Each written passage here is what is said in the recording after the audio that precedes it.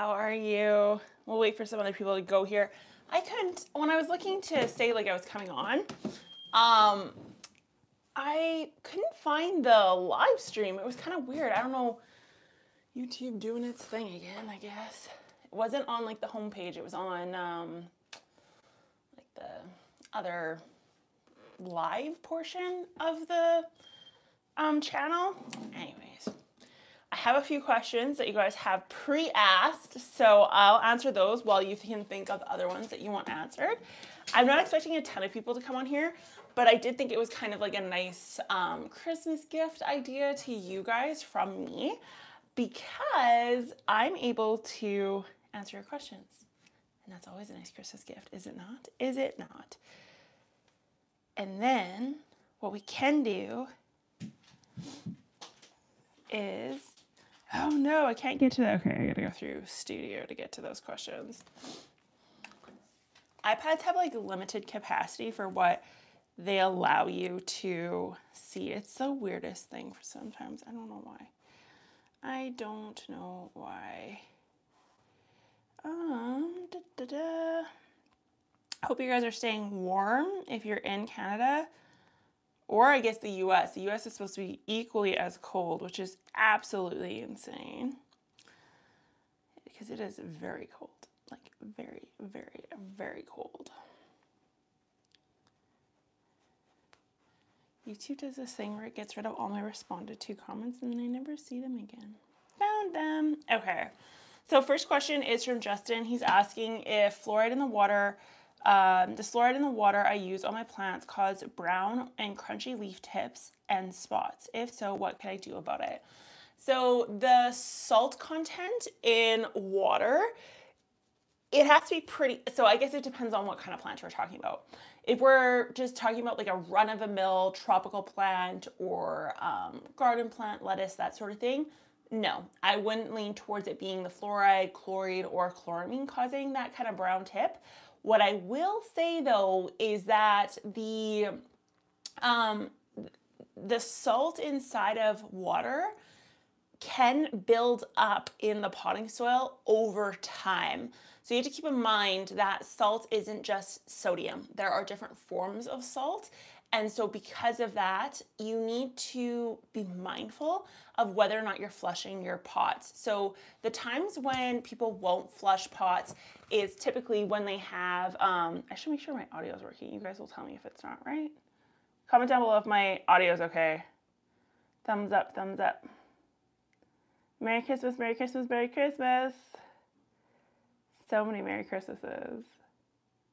Cordovia, Alaska. Cordovia, Alaska, is it cold there? That's a real question. Sounds good. Okay. I just wanted to make sure. I'm using my wireless mic, so it's like it's a different it's it's a new kind of mic than what I usually use. So um, when it comes to fluoride, I would actually flush your pot if you're concerned with that. Now, with that being said, the tips of leaves or the outer areas of leaves, the reason why they usually turn brown is lack of ambient humidity.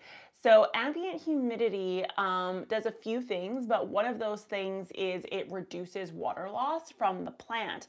And if the leaf or the plant is losing too much water too quickly and it's unable to support the entire biomass of that plant, um, what ends up happening is we lose something called turgor pressure. When we lose turgor pressure, or we hit even worst case scenario, permanent wilting point, areas of the plant leaves begin to collapse and die off, which ultimately turns into brown um, leaf areas. So I would explore two things. I would explore humidity, which I have a video coming out on that. I'm okay, so I'm kind of nervous to post uh, my regular posting schedule which for the winter time, you guys, I'm going to be posting on Tuesdays, Fridays, and Sundays. The Friday content is going to be houseplant content. The Tuesday content is going to be kind of a wild card depending on what you guys are vibing with and what you're asking me the most in the comment section that week. And the Sunday one's going to be like a gardening one. Obviously, it's winter outside, so it's going to be like gardening theory or something to that um, effect, or indoor gardening is what it will be. So I'm gonna start doing that. And on the first of every month, I'm also gonna, um, starting in January, is I'm going to release a video on what you need to start indoors for your gardens. So this will include ornamentals as well as produce plants. So um, that's something to keep in mind. But yeah, those are the two things I would watch out for there, Justin. Um, let me know uh, how you, I mean, I would look at humidity first and foremost before I would look at fluoride. In especially if the soil is not very old. If the soil is not old, then I wouldn't um, I wouldn't immediately jump to the thought that it's some sort of like a fluoride or chlorine or um, chloramine issue there. So that's something to to look at.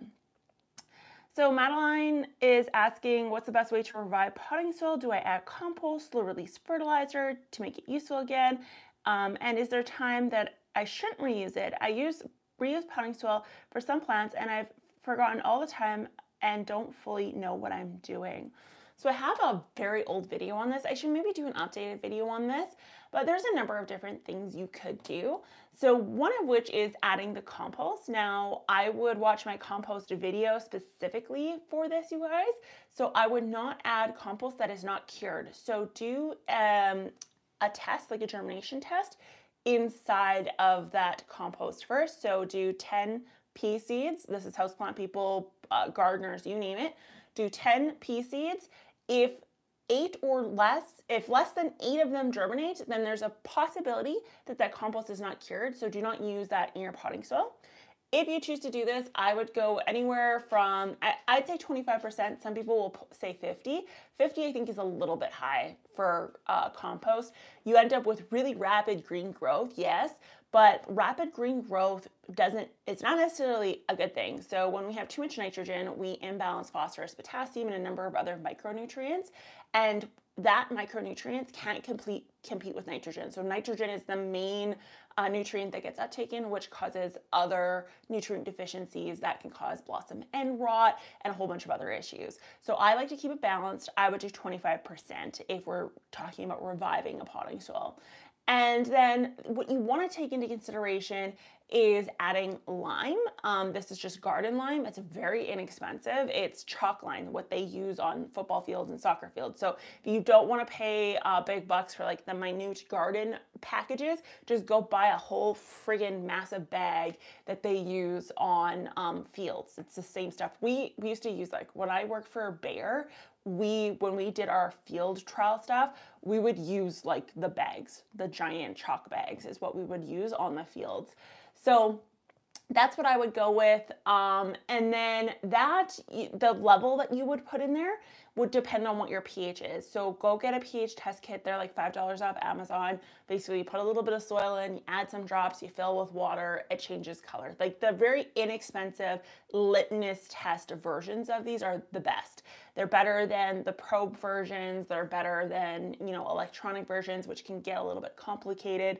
So I would give the, the liquids with the drops a, a try there, and it's gonna work really, really well for you, and that will help you determine how much lime you need to add.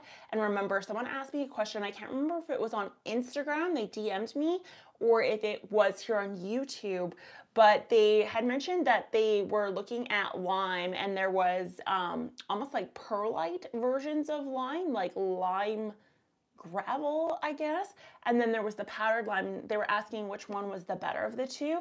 The powdered lime is always going to be your best bet. Remember, when I talk about soil, whether it's potting soil, which is soilless technically, or soil soil, I'm talking about a soil solution, meaning if we were to take um, a tomato and we, you know, put it in a stew or we are making tomato paste or sauce and then we grind it up, we have the seeds, we have the insides, and if we left the skins on, we have the skins. So we have three different components, but you would never know because they're in a solution at that point. And that's what we wanna do with the lime that we're adding. That's what we want to do when it comes to compost that we're adding and all that stuff. We want a homogeneous solution. So then the plant roots are able to access it without having to um, steer their way to it, which they will do, or steer their way around it because it's too intense.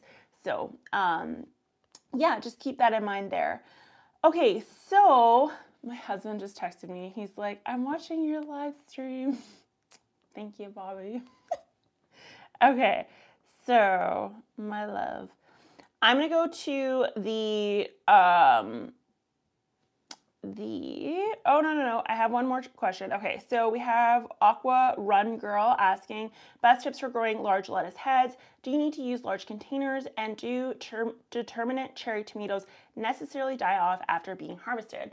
So when growing lettuce indoors yes you want to do the leafy lettuce. Head lettuce in particular um, it needs really intense light if it gets a pest issue, it's much hard, more difficult to um, fix just because we have so many layers in there. And the other thing to think about is wind movement. So unless we have a really powerful fan inside of our grow tent or, or just around that plant in general, the, the leaves kind of building on themselves make it really difficult for um, air and stuff to pass through there. So we end up with mold, um, pest issues, that sort of thing. So I always say leafy lettuce. I just posted a reel yesterday about my lettuce. And so I'm doing like a loose leaf crinkle, which is, um, it's from West Coast Seeds. I can put the link to it specifically uh, on the comments like when we're done. But the really nice thing about this lettuce is that I love crunchy head lettuce. Like me and my husband eat crunchy head lettuce like crazy. Romaine, um, like chicken lettuce wraps, that sort of thing. Like we love that sort of stuff. So we to to have the leafy lettuce that we don't really like just for salads it seems super inconvenient um, and not you know ideally what we would want and so i'd be more likely to leave that in my grow tent and ignore it um, so what I'm doing is like a loose, it's a loose leaf, but it's like a uh, crinkled version. So it actually is pretty uh, dense and crunchy, but it allows you to harvest around the outside if you wanted to, or to cut the whole head out. Um, so it's really nice in between where I can get the airflow, get the light, and can grow it indoors really, really nicely. Uh, for determinate cherry tomatoes, so the Red Robins, for example, when you harvest the cherries, um, the tomatoes, the plant may not necessarily die. So um, determinate we usually is is defined as, if you guys are who are watching don't know, determinate tomatoes mean that it has a life cycle of X number of days. It's going to flower, it's going to produce fruit, you're going to harvest the fruit, and then the proverbial plant is going to die. Indeterminate means that the plant does not have a determinate date in death, and so long as the conditions are ideal, the plant will continue to uh, vine out and make leaves and do its thing. Now, the true definition of this, I guess you could say, loosely say, is that a determinate tomato is something that will continue to flower, bloom, and produce fruit so long as you have it in an ideal condition. So if you are continually harvesting the tomatoes and not letting them um, kind of rot, fall off, and tell the plant that its life cycle is done, the plant will continue to produce. Um, if you are keeping the conditions really nice, so proper humidity, proper lighting, um, in particular, the photo period of that plant. So if you are able to provide it the proper photo period, then the plant will be made in the shade. Uh, all puns intended. so I have a, a video coming out on lighting because you guys have just asked for this video so many times. I'm working on editing it um, today. I was editing humidity last night. Um, and so today I'm gonna work on my lighting video. If you guys didn't notice, I got a new camera, a new mic, and I've completely changed the way I'm editing. And it's because I went to YouTube school. Literally went to YouTube school. YouTube put me like through a three six or three a six week course uh, twice a week for three hours and then they flew me out to Toronto for like a graduation after. Um, and in, in that, they were telling me like how to edit and all that fun stuff. So I'm really doing quite a few changes. So um, bear with me on them. I'm human and I'm not perfect when it comes to this sort of stuff.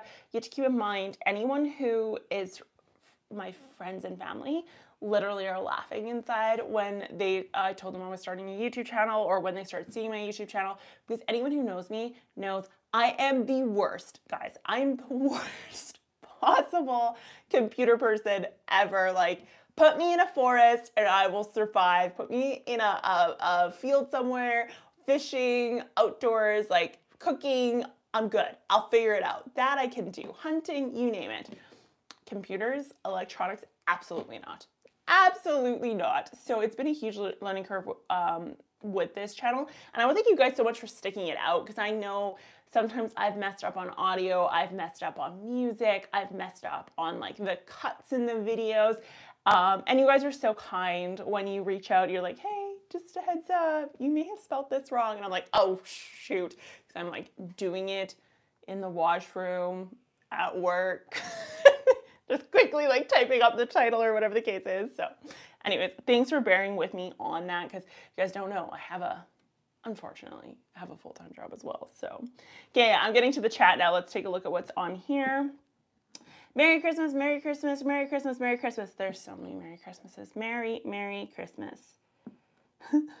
Matt G, Ashley the Soil Scientist, live, so cool. I mean, I guess I'm out of work technically right now. It's kind of cold outside. that's a joke. That's a joke. All right. Get it all over my gardening in Canada sweater. Actually, I miss my sweater. There, that's a selling feature. It is uh, Coffee Escapee. Okay, so um, Matt says, are we looking into electroculture at all? Yeah, I mean, we could. Um, the only thing that I don't quite understand about it is so many people do it so many different ways. Um, and the Chinese seem to have it kind of set up the best way. The only thing that makes me nervous is so I have my um, two tomato beds. If you guys have been following this channel long enough, you know that I have my two tomato beds. One I run conventionally, one I run organically. Um, and I've been doing that now for years. And just to see what the difference between the two is. The problem is, is I don't really know where electroculture would fall in this. So I don't know if electroculture would fall on um, organic or if it, I mean, it's definitely not conventional. But the problem I have is if I run it on my organic tomato bed, I would potentially run the risk of harming my microbiota in the soil. And uh, and they say that it doesn't, but I would lean towards it doing exactly that. So I would need to set up a second or a third bed. Uh, that would just be an electroculture bag bed, um, which I would be interested in doing. I just got to figure out like what that would look like, and that may be something I need my husband's help on.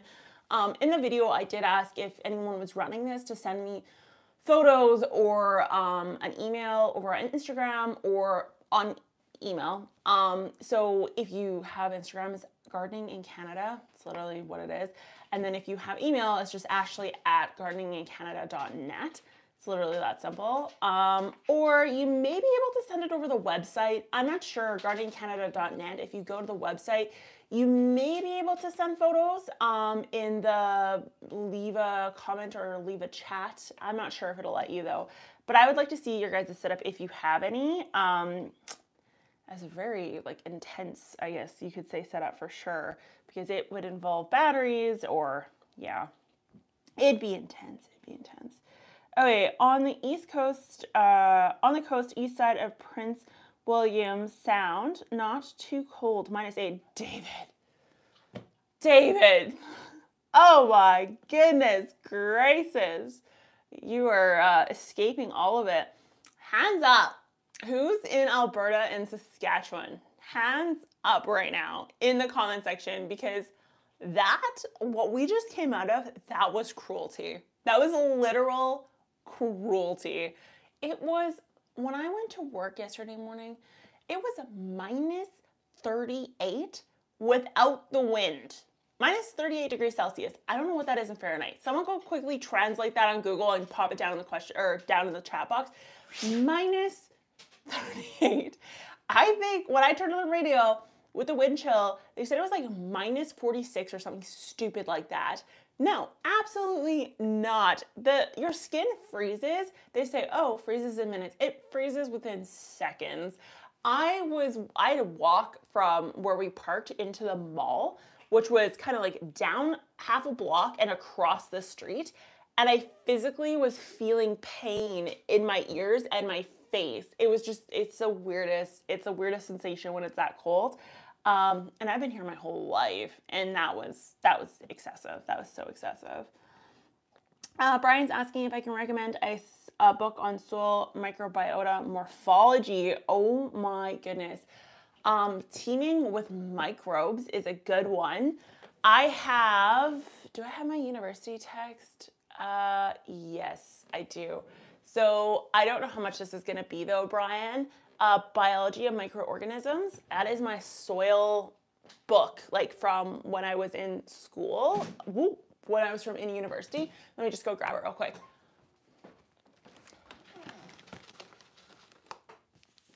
Oh, so this one's a textbook though. So, oh my God. Um, this one's a textbook though. So I don't know if it's, um, this one's 12, this one's a 12th edition, but it's in super ratchet shape. These sheets are gonna like fall at the bottom. Um, Madigan, Martinko, Dunlap, and Clark. I would expect this to be expensive though, because this is my um, soil microbiology text. And you know, this book, it's not just soil. It does literally all different types of uh, microbiology in there. So it's actually, that was, a, I like my microbiology class. It was actually kind of cool. Okay, so um, good morning from Montreal. Minus 20, unfortunately, without electricity last night. Will not be on for a few days. We'll definitely watch the replay. Thanks for sharing your wisdom. Oh my God, Aqua Girl. I answered your question earlier in this video. Um, hopefully you saw it before you had to shut off your phone because of power. That sucks. Minus 20, no power. What do you even do in that situation? Like, I guess I have a fireplace, but it's a natural gas and it my natural gas will will it run? I don't know. It's probably as a pump somewhere. See, I'd be screwed. I'd be screwed. I need to be taking more um, more uh, tips from Nate. How does calcium nitrate break down in your soil? Um, Robert, are you applying calcium nitrate as a fertilizer or are you asking um, existing calcium nitrate how it breaks down in the soil? That would be my first question there. Um, otherwise, calcium nitrate, you you'd have to the bond structure is what would have to be damaged in that case.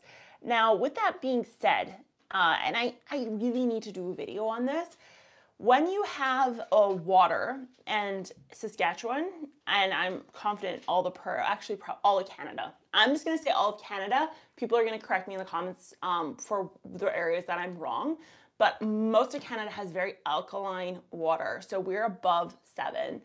We're about an, an eight um, across the board.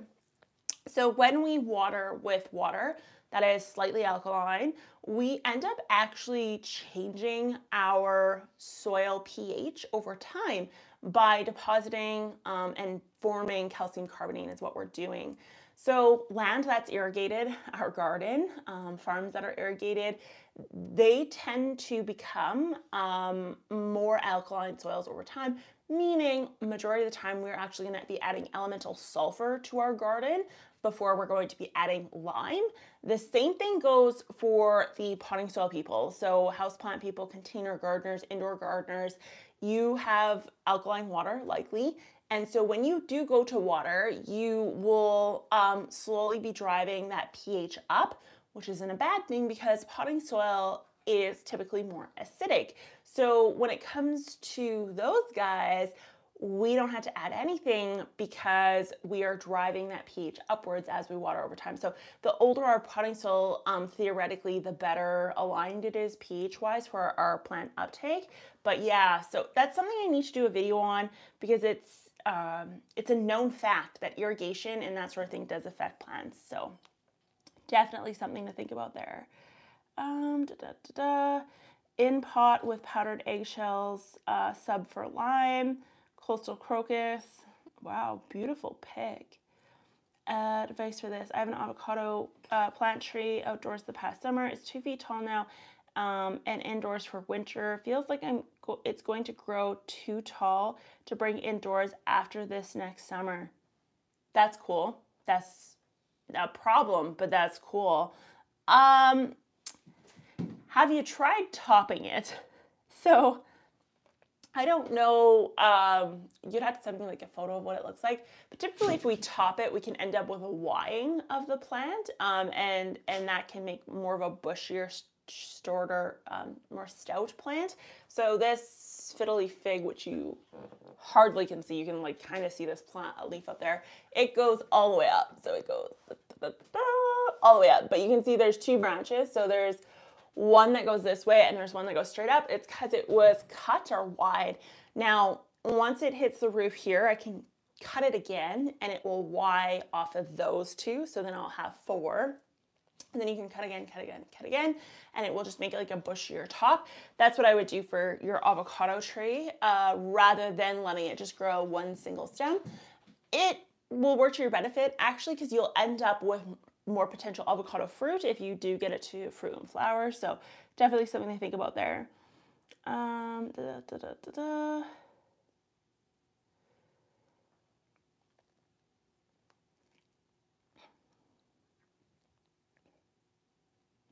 uh, Jeff Bezos, how's it going? you should get Jerusalem artichokes. They're uh, perennial potatoes. You know, I wish those grew here. That Saskatchewan, they just don't. They do not do well. They do not do well at all. My son is in Wyoming. It's minus 47 degrees. That's more like Canada. Looks like we sent you some of our weather. Ay, ay, ay, ay, ay. Uh, but I had a bad uh, problem with earwigs attacking my fruits and tent caterpillars in my apple trees. Oh no. What would you recommend as conventional or organic um, options for pest management? Oh man, that's unfortunate. The tent caterpillars in particular. Um, you know, I would look into, I don't know what this orchard um, or this apple tree situation looks like, like how far it is away from electricity and stuff or if you could even get um, like a canistered version of this, but sulfur um, and copper are the two things that I would try to apply foliar application. The sulfur would be more of a fog, and so you could hang a dish, um, put electricity through it. It'll heat the sulfur puck and kind of let the smoke come out. Um, and that actually would likely help you quite a bit there. The the copper you could also spray on um, as a foliar application, and that would help too. Those are the two things that I would most definitely try in this case. Other than that, find natural predators you can source locally and uh, purchase those. So whether it would be ladybugs or um, you know a different form of caterpillar, like I'm not familiar with what the um, predators of these are right off the top of my head, but you could there's lots of biological uh, pest companies out there that you could contact and ask them um, what is a, a battleship against this problem that you're having. 32 degrees Celsius and sunny in northern Australia. Chef's Circle. We have a lot of people in the comments that are up for adoption. If you want to come grab one of us, that'd be great. That'd be great. Matt G, my daughter was born in minus 55 Celsius three winters ago. Jeez Louise little ice cube baby. Ice cube baby. Um, earwigs. What a name. Merry Christmas from Everything Plants. That's Jeff. My wind chill is minus 30. I can't imagine it being colder than that. Yes, my red Roman tomatoes produced fruit in September through October, and they are now producing again. Yeah, Bev's right. They, it's just this thing. I don't know why we started the the rumor that determinate means flower, fruit, done. If you're maintaining the plant, it's going to continue to fruit and flower. Um, I mean, and when we're talking about plants, it would feel indefinitely um, in that case. So, hi from the UK. It's 8 degrees Celsius here at the moment. UK, it's crazy. It's crazy because I see uh, gardeners in the UK, and I always think to myself, your climate has to be more mild than Canada's and you think, well, no, it's it's gotta be it's cold, right? Like it always looks cold and dreary on the like the video footage or the photo footage you see. No, it's actually a mild, moderate climate in the UK. And that's how they grow so many dang fruits and vegetables. That's why their gardens look so top notch. They look better than all the Californians' gardens. They look better than all the Canadian gardens. And it's because they literally, they literally have the perfect climate. And even funnier than that, and I should do a video on this maybe. So the UK is where all our garden knowledge has come from. So, how we garden, the way we garden, what we plant, how we grow it, all that stuff is completely based on Europeans, like on the UK and what they're doing over there. Just a fun fact. So, when you think of your ornamentals you grow, your vegetables you grow, you name it, it's all based on what they've done. It's just, the history of it is so interesting and it's so heavily influenced um, by the UK. And so it'd be just neat if someone just took that by the horns and made like a Canadian or like an American, um, you know, region specific version of gardening. Um, because there's, I mean, there are perennial plants that aren't considered perennial plants that grow in zone three, for example, which is my zone. It's a very cold zone that are edible. You just would have to figure out where to plant them, how to plant them, and what the heck to cook with them, um, how to cook with them. So one really great example of this is lovage. So uh, classic, we, we grow celery. Celery we use in mirepoix. We use them um, to, you know, our turkey that we're probably gonna eat either tonight or tomorrow night. For our stuffing, that sort of thing, we always use celery. Well, lovage is the equivalent of celery. It's like it may be a little bit more mild tasting, but it's a huge plant. It, it, grows in Canada and it's a huge plant. Like you struggle with our celery here. It's, I mean, it's wonderful to grow. I grow it, but you struggle with it here. Lovage. Look up, Google lovage, and it will blow your mind. A, the size of this thing and B, the fact that it is celery. That is what it is, celery. And I think the leaves actually may have more medicinal properties than celery if they're used in a tea. Just a fun fact. Don't shoot the messenger. I'm trying to find a plant, a lovage plant. But again, it's like one of those things that isn't Canadianized yet. So it just doesn't, you don't have access to it. Sometimes you can find people with it in their in their yards. Um, my lovely neighbors from next town stopped over um, today to look at my generator and teach me how to use it. I bought from the elders who left me all their stuff. Oh, that's really cool to have a generator. That's really, really cool. Um, I love my new rural life. I have 15 people that check on me. Yeah, rural life is very different. Um, when I was in Toronto, this is so funny. And hands up in the comments if you guys are from a different, like if you're from a big city, a small city, a town, or rural. I'd, I'd love to know this.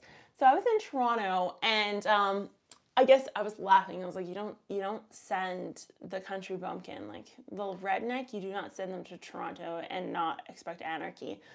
So I get to Toronto and it's just very normal in Saskatoon.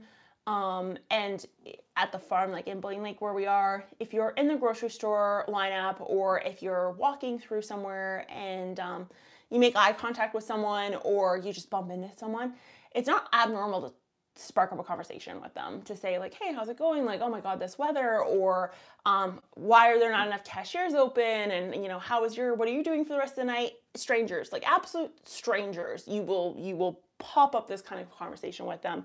So i'm in toronto and i'm like just acting myself. Like i'll be in lineup and i'll be like yeah you know a few hours left in the night. Like what do you what's your plans for this tonight and people were and toronto were shocked absolutely shocked that I was even talking to them. A. B. If you smile at someone in Toronto, they immediately will like dead eye you back, no smile, no nothing, and then like right away look at their phone again. And I don't know if they were put off by me just being friendly, but it was so freaking bizarre. We're walking through the Eaton Center, we're going down the escalator, and there's two other YouTubers that I was with, um, Jessica and Lauren, Laura. Um, one does like a history uh, YouTube channel, and the other one just like a finance, Canadian finance uh, YouTube channel.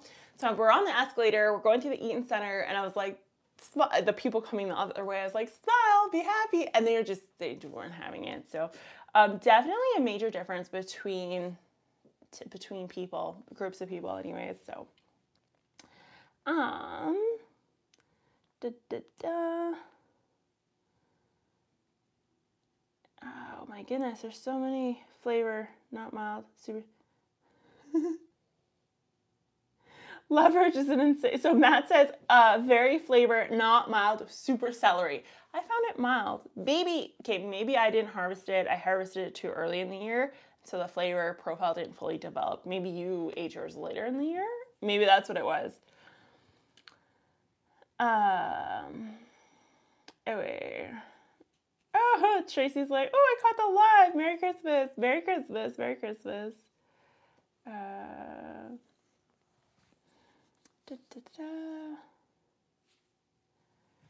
Small rural city, Geeb says, 13 to 14,000. Yeah, that's that's really nice. City in Northern California. Rumham says, yeah, but Toronto sucks. Someone told me to go to the aquarium, the Ripley's aquarium. That was actually really cool. That was really cool. And someone else on the community tab, when I asked you guys what you do, someone commented, um, what was it? It was uh, Royal Ontario Museum. I went there. That was cool. Very cool, actually. The fourth floor, the floor, the fourth floor. A plus plus. A plus plus. Um, and then the what was it? Christmas Village?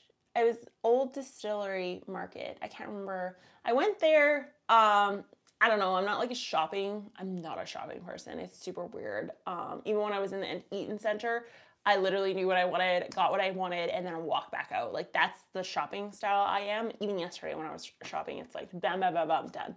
Um, I don't really, yeah. I'm not. I'm not huge on shopping. So that part was kind of like, eh, but it was pretty. It was so gorgeous, so beautiful. And then I went for a tapas, Spanish tapas restaurant. It's like if you go in the Christmas market, you walk all the way to the back and it's on the right hand side. Yeah, right hand side. So uh, it was a Spanish tapas. Uh, that I'm a foodie. I am a major foodie, and I'm a major foodie for like different types of cuisines. Spanish tapas by myself beautiful espresso cocktail, a book. It was wonderful. I ordered, I think, four or five different uh, tap. Because if you guys didn't know, tapas are like these little tiny mini meals, and you order like a whole bunch of them, and they bring them all up. Oh, it was it was wonderful. I highly recommend that restaurant. If I knew the name of it, I would tell you what it is, but I cannot remember what it is. Um,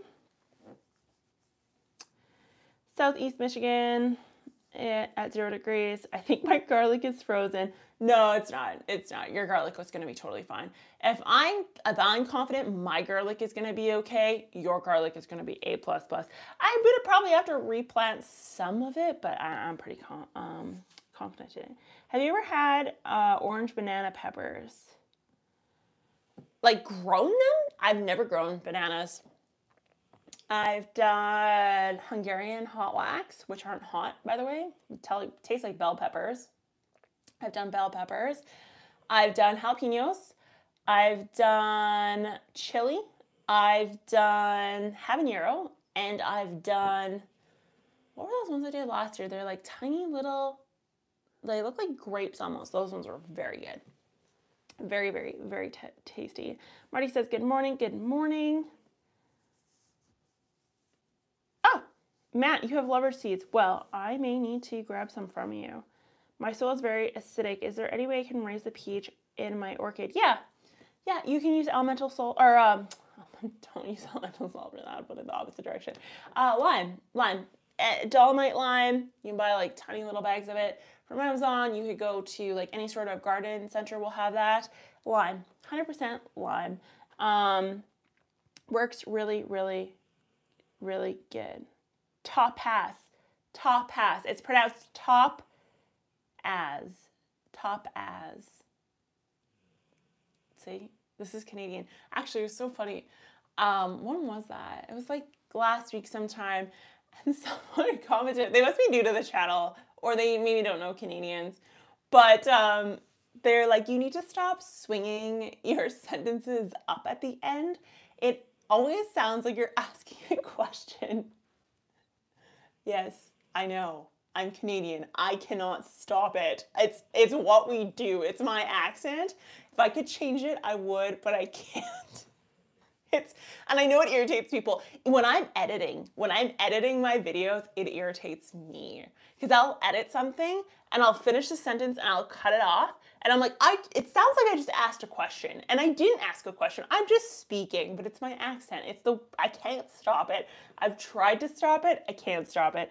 And in particular, anyone with an accent knows this when you get excited about something, and I'm obviously excited about soil plants, etc., and so gardening, you name it. So when you get excited and passionate about something, your accent gets worse. So it's just deal with it. I can't fix it. It is what it is.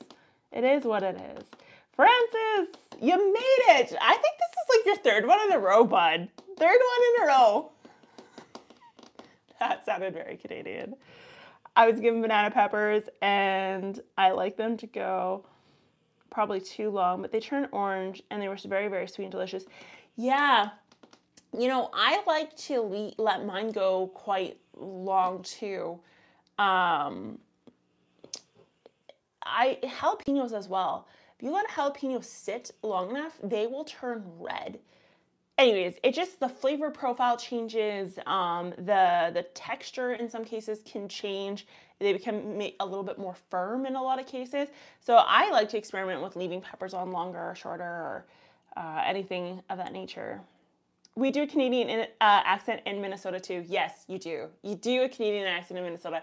Um, my friend dated someone from there and he came over and I was expecting, this was so many years ago, I was expecting him to walk in and to, for him to be American, like to sound American. And that's another thing. People in Toronto, they sound so American, it's not even funny. Their mannerisms, the way they talk, everything, it's like, it's American. It's the most bizarre thing ever. But um, this guy from Minnesota walks in the house and I like went up to him like, hi, my name's Ashley. Uh, and he spoke and besides not saying A, that he says bud. He says, yeah, you know, yeah. Like we do that, yeah, no means no. Um, no, yeah means yeah. Like that's just how we speak. So when he walked in, it was it was a Canadian accent. It was so it was hardcore Canadian accent too. Like it sounded similar to what my father-in-law sounds like. Like Boondocks, Saskatchewan Canadian accent. It was just the craziest thing ever. So Super bad Merry Christmas from Britain. Holy moly. I like all accents except Valley Girl. What's Valley Girl? I don't even know what that is. I have to YouTube that after. I have to YouTube that after. Francis, are you from Saskatchewan too? No, Francis is from the um, Maritimes. The Maritimes is where Francis is from. Oh, hi, yeah. How are you? Oh, oh hi. yeah, hey, how are you? Minnesotans. Yeah, that's true. That's true. My my one cousin has like the rankest Canadian accent ever. He sounds like he's off of like the red. Oh, you Americans probably don't know the the Red Green Show. If you guys have watched that, that's what my my cousin sounds like. It's hilarious. Small town, 500 people, Wisconsin. How long does it take for hydro lettuce from your reels? Oh, um, my lettuce is 30 to 60 days. That's it. One to two months. And that's like one to two months. If you chose not to harvest, you could harvest continually starting at about 30 days. Um, but I like heads of lettuce, so I, I wait like this. It's about 45 ish days um, for those to come through. The, the more, the more, uh, and I, I gotta do a video on this, but the more wind movement you have in the form of fans or in the form of um, just exhaust, even if you have an exhaust fan, anything like that, um, on the plant, the faster the plant is going to grow. Now, and, and within reason, within reason, but the reason for that is because as the air moves across the, the plant, the stomata on the bottom of the leaves, the water will get pulled out and then the roots are signaled we need more water, we need more nutrients, so it gets brought into the plant faster, water leaves quicker, and so um, photosynthesis is more efficient. Now, not on a tropical plant, tropical plants are quite honestly the opposite, but in lettuce, for example, this would apply. Um, so the more rapid growth we get. So the more water we have moving through, the more nutrients taken up, the more CO2 let in for the longer the stomata are open, the more photosynthesis takes place, the more carbohydrate we get, the more carbohydrate and glucose we get, the more leaves we get. And so that's how you expedite growth um, very quickly. The other thing to think about is photoperiod. If your photoperiod is dialed in for lettuce, then you are going to get more rapid growth um, from that as well. So yeah, yep, yep. Um, any thoughts on cross computation with the float system from the poo? Uh, oh, Emily's asking about. Um, Emily's asking about the one in the basement.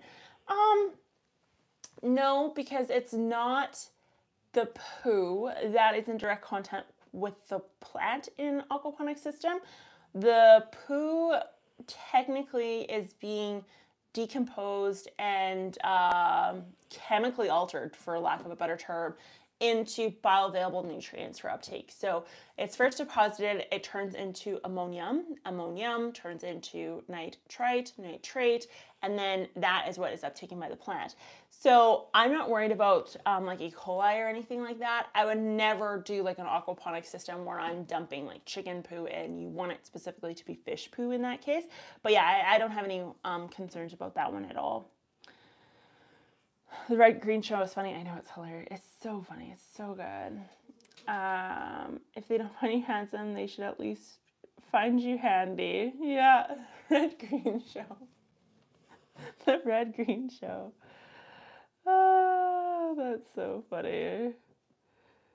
That's too good. Merry Christmas, people. Merry Christmas, Brian. Uh, Red green. We used to love that. Yeah. See, everyone knows red green. It's such a good one.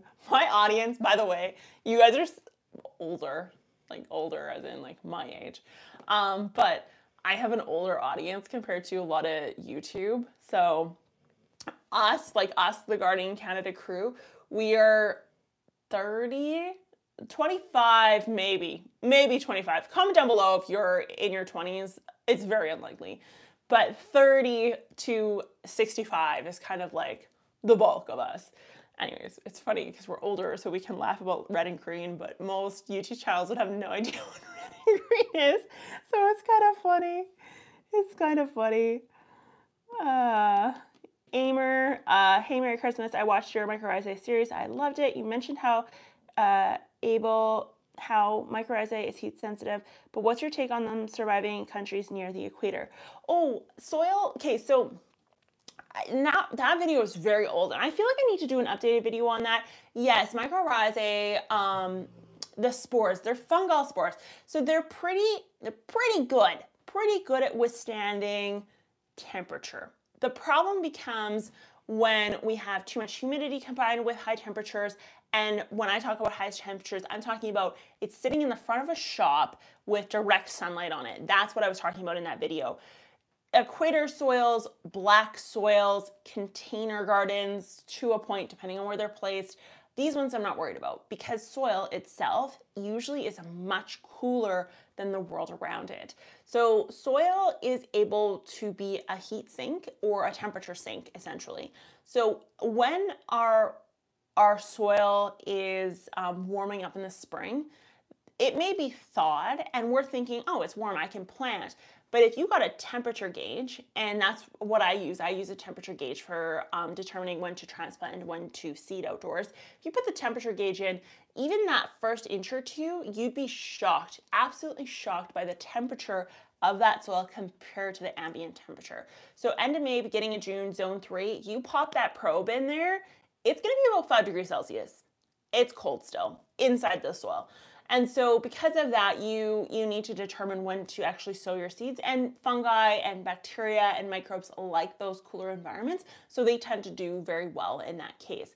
Now, the top inch or two of soil, as the summer goes on, begins to get warmer and warmer. But that doesn't mean below that level that it's not uh, a healthy, vibrant microbiota.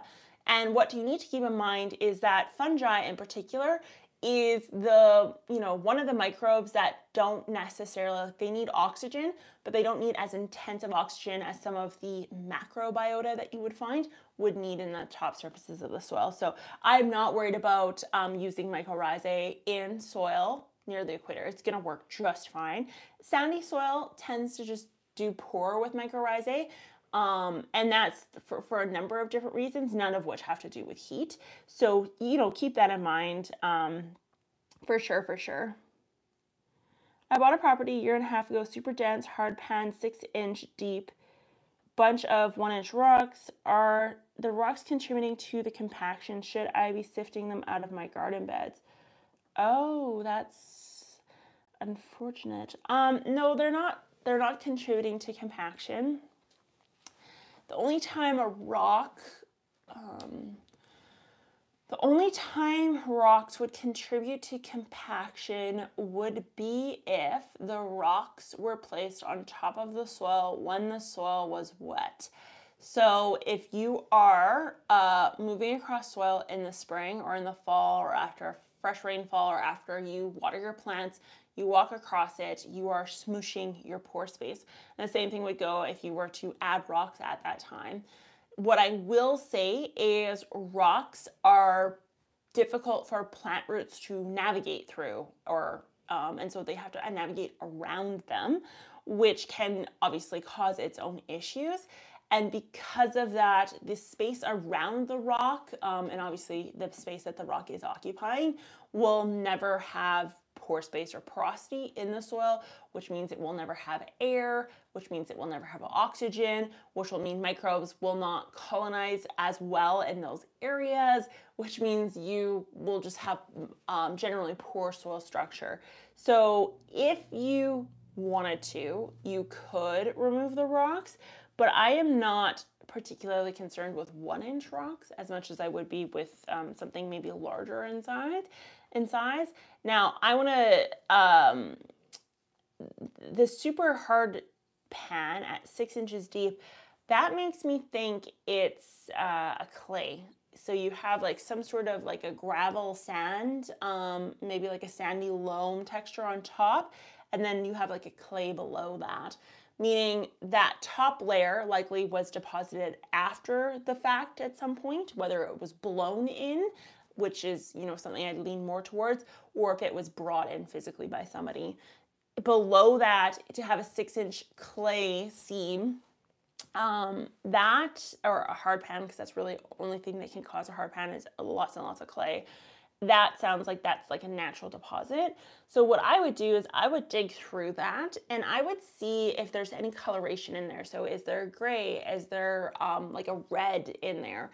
And if there is, that may mean that you have some standing water in, the, in those spaces. And that may be something that you may want to investigate, looking at drainage and that sort of thing. So that's what I would do and um, take into consideration. If when you say beds, Tracy? Like, do you mean raised beds or are you just talking ground beds? Because that, um, it would be weird for that to be in a raised bed, if you, if you know what I mean. So, um, da, da, da, yeah, 32, 33, I'm always forgetting, 37, 33, 34. See, I knew it. We're old. We're old. We're. Oh, except for Francis. Francis says he's fresh out of the oven. He's like a little biba. Francis.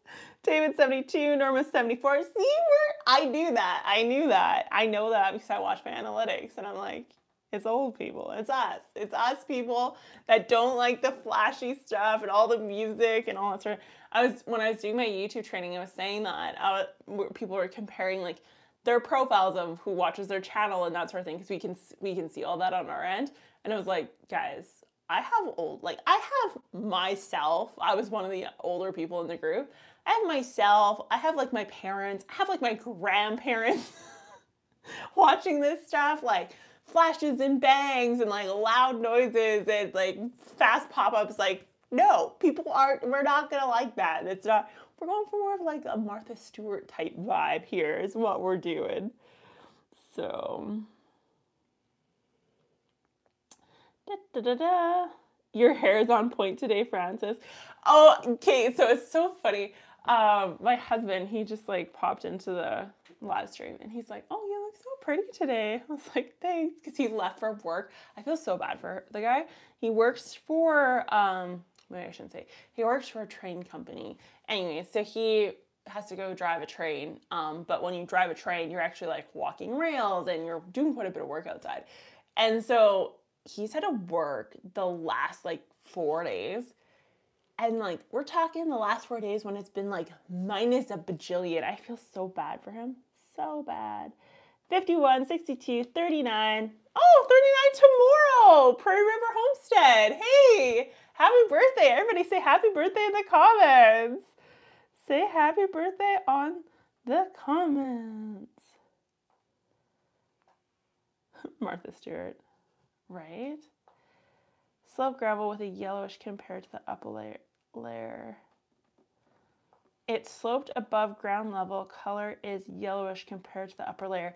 Okay, it's like a sandy. Um, what I would do, Tracy, then is I would actually add in uh, like a compost or manure eh, into that and really dig it in good. It sounds like you're really lacking a lot of organic material, which will um, uh, compact the issue and make it worse.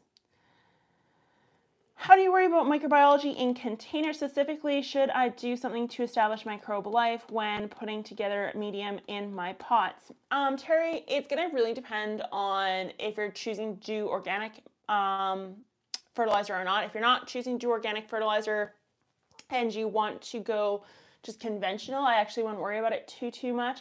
Um, however, if you want organic, you really do need a good microbe system. So I would start with a uh, a microbe, what would you call that? Um, the inoculants, but not just any inoculant. I want you to get something that has mycorrhizae, rhizobacterium. Um, if it has phosphate solubilizing bacteria, even better, you name it, um, in that container. There's one, it's called White Shark, and I've been working on something on my blog side, like on the website, gardeningcanada.net, and I've been working on comparing all the different forms of mycorrhizal products to see which one has the largest number of species. And that white shark has the most, the absolute has the most.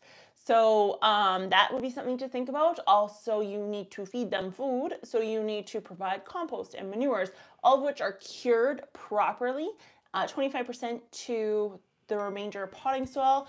And yeah, that's what I would go with there. So.